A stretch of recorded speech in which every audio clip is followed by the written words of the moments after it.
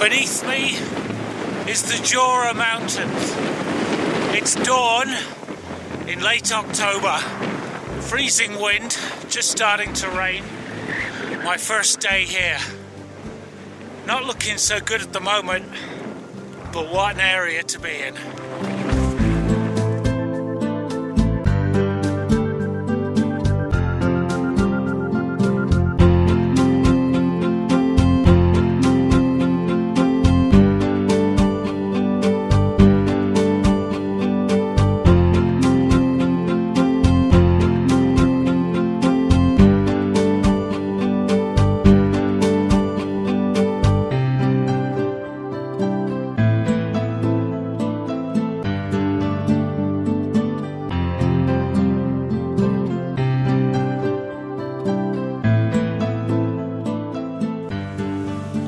Down beneath me is the village of Mouthier Haute-Pierre in the Doubs Valley. Uh, the Jura are a region of deep limestone gorges here in the Franche-Comté region of northeastern France. Swiss border, not far that way. The whole landscape gradually rising as you get nearer Switzerland. And the autumn colours down in the valleys are just coming to be at their prime. We came here back in 1997 very briefly and spent an enjoyable day shooting in the uh, Lison Valley down below me. And uh, I remember thinking then that it was an area that needed much more time and investigation. So here I am, drove down yesterday long drive, stopped at for a night at the Somme and had quite a moving experience photographing on the battlefield there. And uh, I've got just a few, four days really here to try and make something of this wonderful region. I came armed with a short list of locations to look at from my research. So on my first day, clearly my first priority is to get out, look at those, and come up with a plan of where I need to be and when. With this low grey cloud, it's unlikely any of these high viewpoints are going to net the kind of uh, pictures I'm after unless conditions change. But having said that, down in the valleys, in amongst the woods, in the limestone gorges, this flat grey lighting may be just what I want. epic scenery. Just look at this deep limestone gorge down behind me.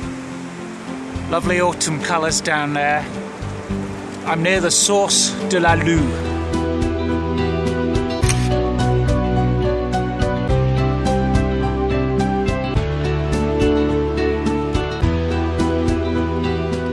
Sun's come out and I've got my first pictures of the trip done.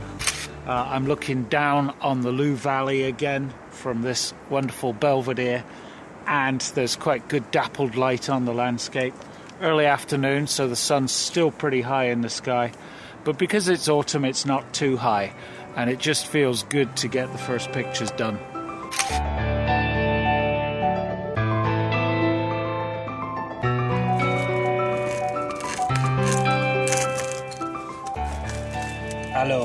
Déjeuner camembert, du saucisson, du pain, du fruit, du beurre. C'est parfait.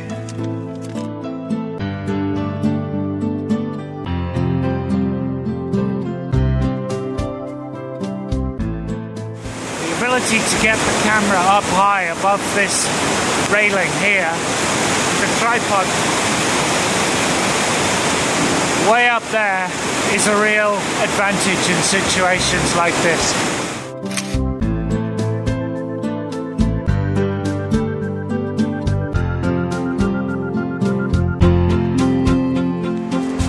Just beautiful in here.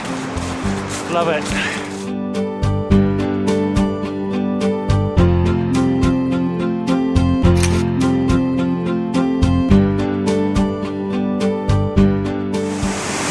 Good session here, some good colours, some really good motion patterns on the surface of the water.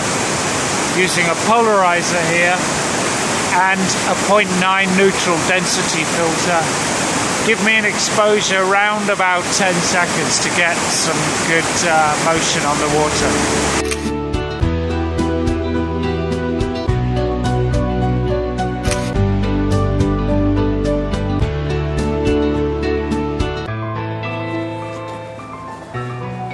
Another dawn patrol. Yesterday was a very full day out behind the lens from before dawn until dusk, but a great day, so I'm hoping for more of the same today. Coming back last night, found this location you can see behind me with this willow tree standing in the river. And I've come back for first light, and there's been mist down the valley up on the mountain above, and very kind of subtle lighting here. And I'm well pleased with this session, been great very chuffed.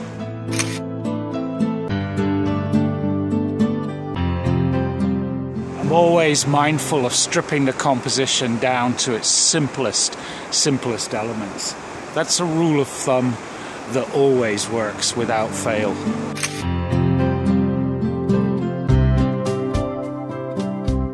One acquisition I've got for this trip, which is proving dead handy, is this Lee Filters pouch which you can hang from the tripod and has slots for all my filters. Really useful.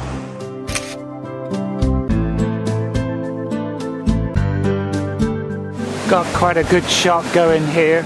I love it when I can work from the tailgate of the car.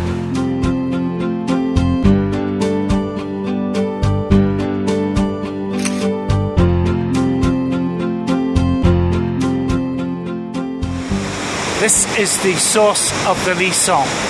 Gorgeous, isn't it? Some subtle autumnal colour there, using the 70 to 200 mil here with polarizer and 0.6 neutral density filter.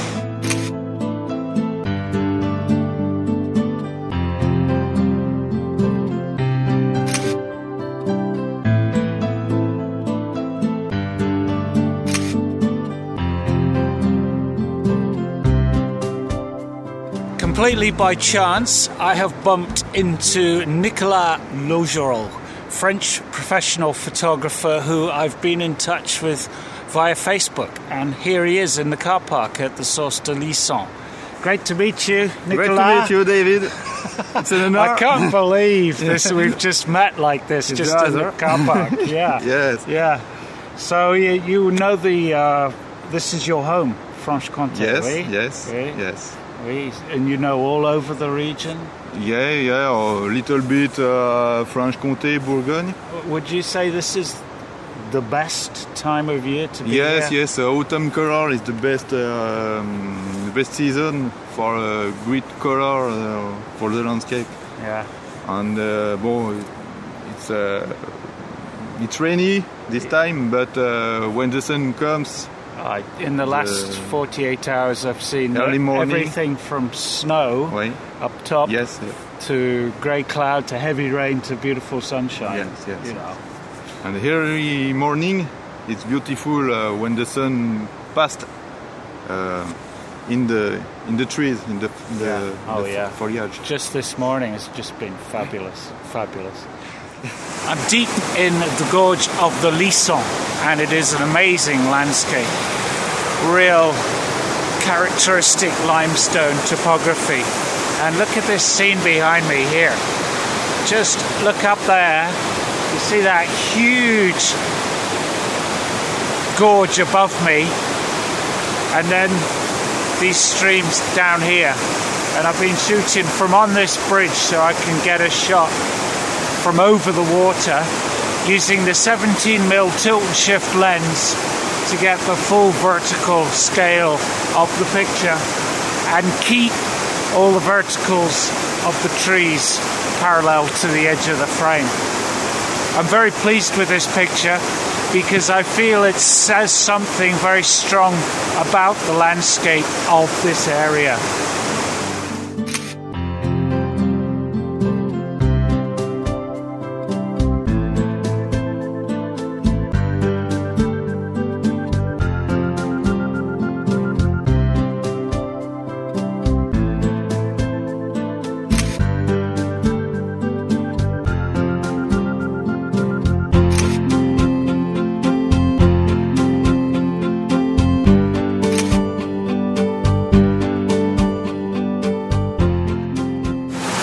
Last hour crouching on boulders beside this torrent, experimenting with making vertical panoramas.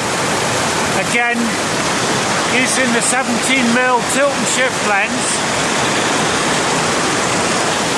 and shifting up, middle and down to get the full height of this amazing, amazing gorge that I'm deep in. It's been tremendous fun. I, I hope, I think it should work, but uh, quite experimental. A lot of fun anyways.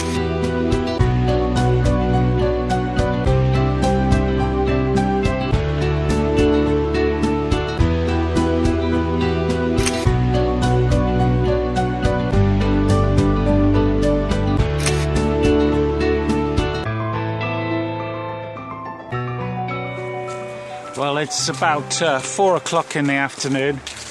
Got another couple of hours of light. I'm having the most incredibly self indulgent day of photography. Great fun. Very pleased with how it's going and enjoying it immensely. Uh, it's just so good to be engrossed just in doing pictures. And I've not really moved more than uh, a few hundred meters just been totally engrossed in in uh, in the area, and uh, it was great to meet Nicola. Uh, just uh, one of those acquaintances I'd made on Facebook. Never met him before, but uh, it was his message that prompted the decision to come here. One of those off the cuff decisions that uh, I'm really glad I made. It's just a really beautiful area.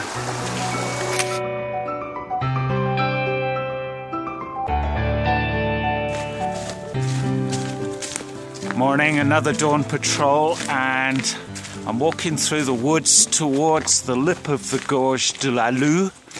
Uh, when I got up this morning, it was mist down below, so I'm hoping from up here I'm going to be looking down on a misty, ethereal, evocative landscape. Don't you just love this game?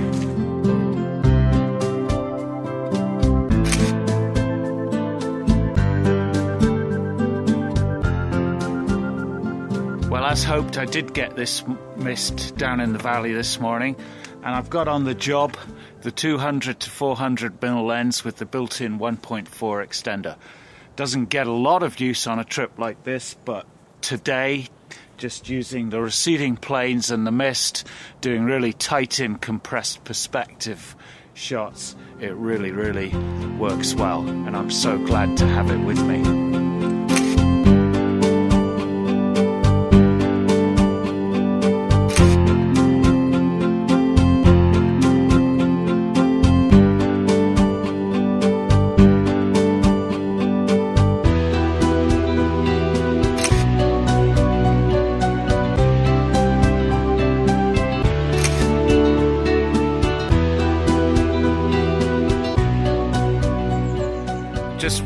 For the sun to hit the village down in the valley down below. There's still a bit of mist hanging around.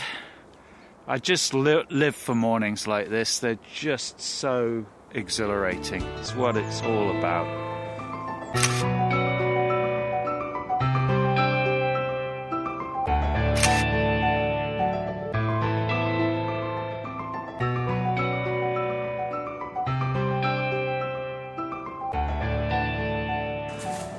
Well, I've shifted location for my last day here in Franche Comté, moved about uh, 60 miles to the southwest from Ornans and the uh, Val de Loue over to Chateau Chalon, which you can see up on the hill behind me there. Uh, and uh, on the slopes down below, these wonderful golden vineyards with uh, this time of year really warm, orangey, yellowy colour. So uh, I've a mind to try and piece together a shot using them as strong foreground interest. Classic view of Chateau Chalon is from up on a hill looking down on it, or across to it, shall we say. Uh, but I'm wanting to do something a bit different and certainly to use these wonderful colours of the vineyards as foreground interest. So that's the plan.